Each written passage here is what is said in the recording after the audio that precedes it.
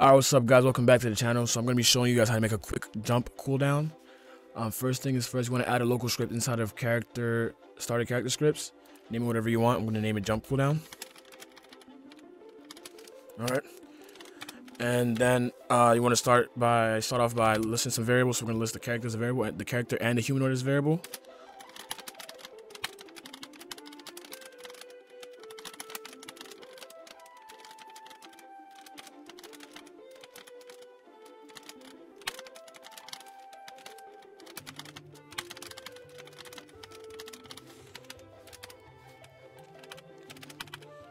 Uh, I'm also going to put a constant at the top that's going to basically tell us how long we want to wait before each jump. Like a cooldown. Cooldown. I'm going to make the cooldown um, 2 so it's noticeable, noticeable for you guys, but you can put it cooldown to whatever you want. Alright. We're going to have our state change function.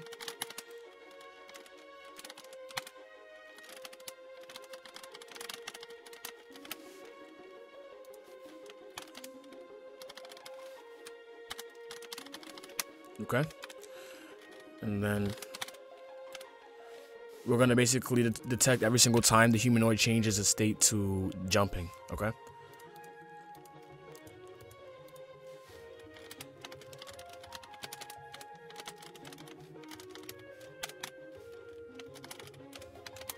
So this here basically just means that we just uh, we just uh, just changed our humanoid uh, state type to jumping. So when you jump, your humanoid your um, humanoid will have it will change its humanoid state type. Um, I don't say attribute, but the properties of jumping. Okay. There's other there's other different types of state types too, like uh, running, falling, ragdoll, and all that stuff. But we're gonna be using jumping for this tutorial. Okay. So once we jump, what we want to do is want to um, basically set we, we want to disable the jumping state type.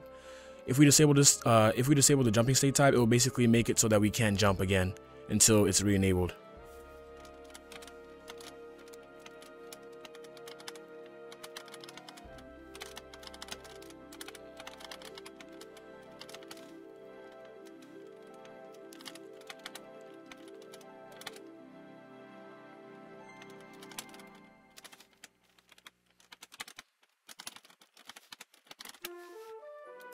And then we want to wait the cooldown. And then we want to re-enable it. Okay, so this is actually supposed to be set state enabled, not set state type. So yeah, make sure this is set state enabled, okay? Alright, now that we have our function, we want to connect the function to the the humanoid event.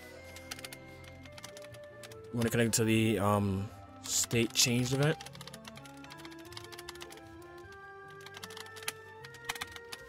And that should be it. Um, this is optional, but you can also have a boolean variable that tells you when we can or can't jump. If you want to use it for anything else, we can have um, can jump equals true. And then we can make can jump like um, false here. And then make it true here just in case you want to use this like for anything else within this script or any other well in, yeah within this script. So yeah. If we test it out anytime we jump we wait two seconds again before we jump again. So right now I'm actually holding down the spacebar see that I jumped? And then it's gonna wait again before I jump. Yep. Um yeah so this that's how you do it.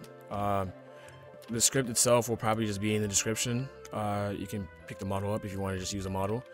Hope this helped you guys. Um, make sure you guys uh, leave a like and a comment down below if this helped you or if you have any any other suggestions or any other comments on the method I use itself. And yeah, take it easy.